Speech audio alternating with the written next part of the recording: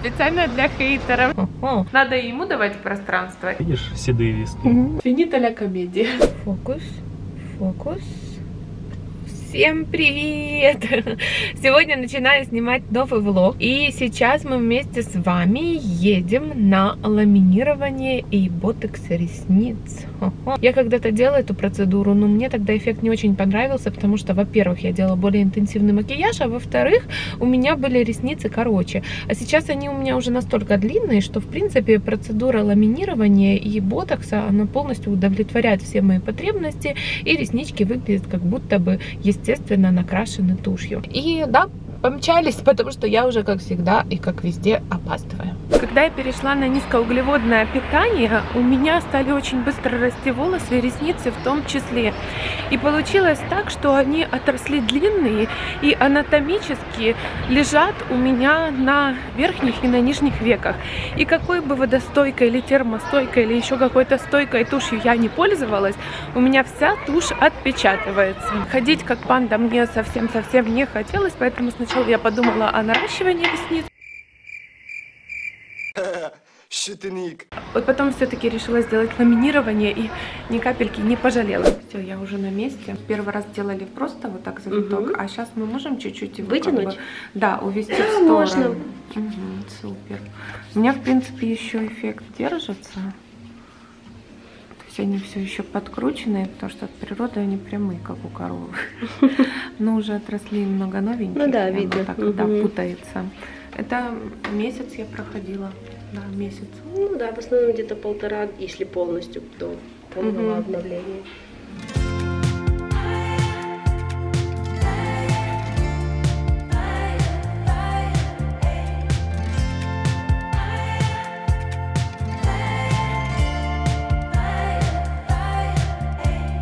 Всем привет-привет! Ну что, сегодня наступил новый день. Сейчас у нас утро. Давид уже в садике. Мы с Женей собираемся позавтракать. Сделала нам на завтрак очень простой омлет с помидорами и перцем. Также добавила огурцы, мясо, авокадо, оливковое масло и немножко орешков. И посыпала это все пармезаном и зернышками конопли. Такой у нас сбалансированный получится, низкоуглеводный, но очень сытный и питательный завтрак. Кстати, мы сейчас собираемся посмотреть новую серию «Миллиардов». Пока ребенок в садике, родители наслаждаются свободным времяпрепровождением, когда никто не кричит, не пищит, и есть возможность просто вот так вот вдвоем посидеть, покушать и посмотреть классный фильм. Но я скучаю. Ну я тоже скучаю, но надо ему давать пространство и нам. Из этой истории о роковой страсти можно сделать несколько выводов, но я сделал такой. Если гнаться за двумя зайцами и не выбрать сторону вовремя, то можно стать посудиной под мяту и базилик. Хочу попробовать постирать в стиралке свою бананку. Это у меня Майкл Корс. Очень многие спрашивают, откуда она. Но она ужасная, потому что она тканевая. И она ну, засралась буквально везде, где только Фу, можно. как некрасиво. Ну, блин, а из, из песни слов не выбросишь. Все швы, все какие-то изгибы, ну все просто вот жуткое. Ой, как неопрятно. Да, причем носила я ее, ну, раз 30, наверное. Вот так вот, если откровенно. И она превратилась в такое Г. Короче, либо стиральная машина сейчас ее спасет, либо... Ищите на мусорнике. Кстати, а сумка.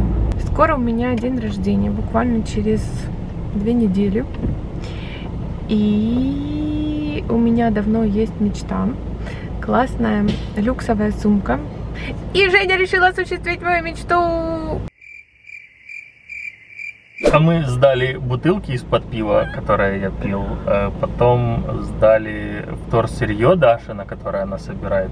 Я его бесплатно сдаю. Ну ладно. То есть ты его еще и бесплатно сдаешь? Я тебе даже больше скажу, за сжигание я еще и доплачиваю. Ну, значит, вот сдали все мои бутылки, наскребли по сусекам и вот попробуем посмотреть, что ж там за сумка. На самом деле я уже выбрала сумочку и в Сен-Лоран черную. В общем, сейчас все увидите. У меня когда-то была сумка Louis Vuitton. У меня когда-то была сумка Dior. но я их успешно продала, потому что они потеряли свою актуальность. И здесь у меня был такой очень тщательный отбор, потому что мне хотелось сумку, которая будет актуальна сквозь время и сквозь года. Сначала я хотела сумку Клои, но потом я посмотрела на нее вживую и поняла, что м-м, это не то. Сен Лоран, ты-ты-ты, пойдем. Мне нравятся три модели. Вот эта первая, она очень классная, но она толстовата, на мой взгляд. Хотя смотрится обалденно. И все-таки достаточно яркая фурнитура. Если я буду в золоте, у меня будет, допустим, кожаная куртка, на которой тоже есть молнии, всякие заклепки. Здесь цепочка и монограмма. Будет много. Потом мне нравится вот эта, супер классическая, но она уже тонковата. Та толстовата, а это тонковата. Но она классная. Поэтому мой фаворит вот эта сумка. У нее черная матовая фурнитура. А, я сначала хотела гладкую кожу, но мне понравились вот эти прострочки. Мне кажется, они смотрятся как-то более интересно, очень стильно. И она такая подойдет абсолютно под все. Очень базовый вариант.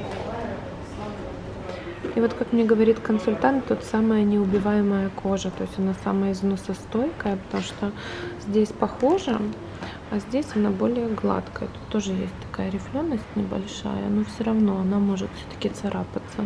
В общем, жалилась я Жене на яхте, пустила его все-таки из открытой реки взамен на сумку, да? Да, позволила мне забраться на борт. Покупаем? Покупаем. И бежим сразу же в ушечный магазин покупать мне наушники. Ну ладно, ради бога. Я на все согласна.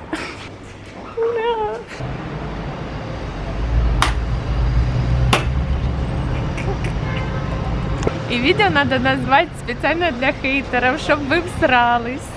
Ты жопа. Что хотела сказать, я даже не знаю, что сказать.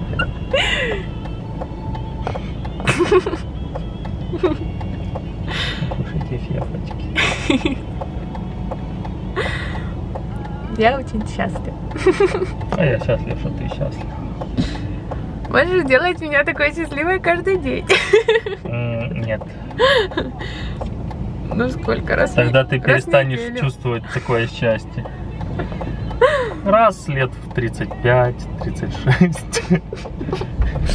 Кстати, хотите отдельное видео с распаковкой сумки? Да или нет? Напишите в комментариях. Только пишите скорее, потому что мне же придется терпеть, ждать и не распаковывать, и не носить. Будет отдельное видео распаковка, обзор. Переквалифицируюсь в сумочного блогера.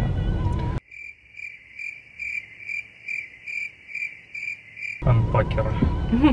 Нет, на самом деле шучу, никогда в жизни не переквалифицируюсь, а, потому что я за осознанное потребление. И Я хочу иметь всего несколько сумок, которые можно пересчитать Ты пропустила на... слово. Какое? Сот. Нет, несколько сумок, которые можно пересчитать на... сумок Нет, на одной руке, но чтобы они все были... на одной руке медузы или осьминога.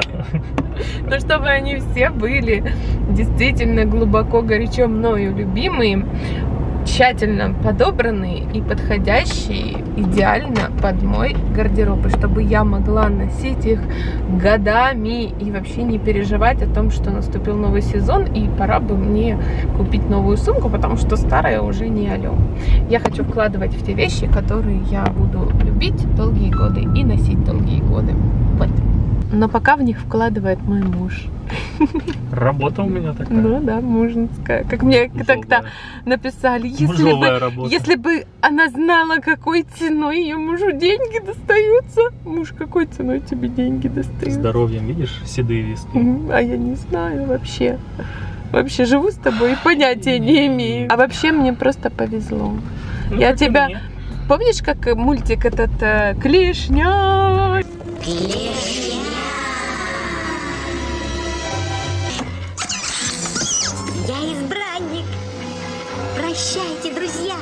Отправляюсь в лучший мир. Муж у меня такой не потому, что я такая, и потому что он меня выбрал, и я его выбрала. Это просто фарт. Вот знаете, идете по улице, там, выстрелом вот, вот этого. Повезло, не повезло.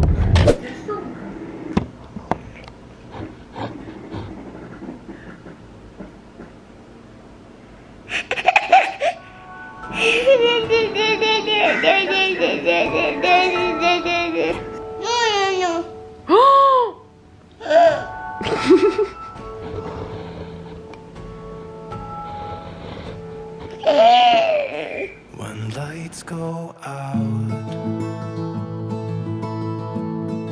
you're in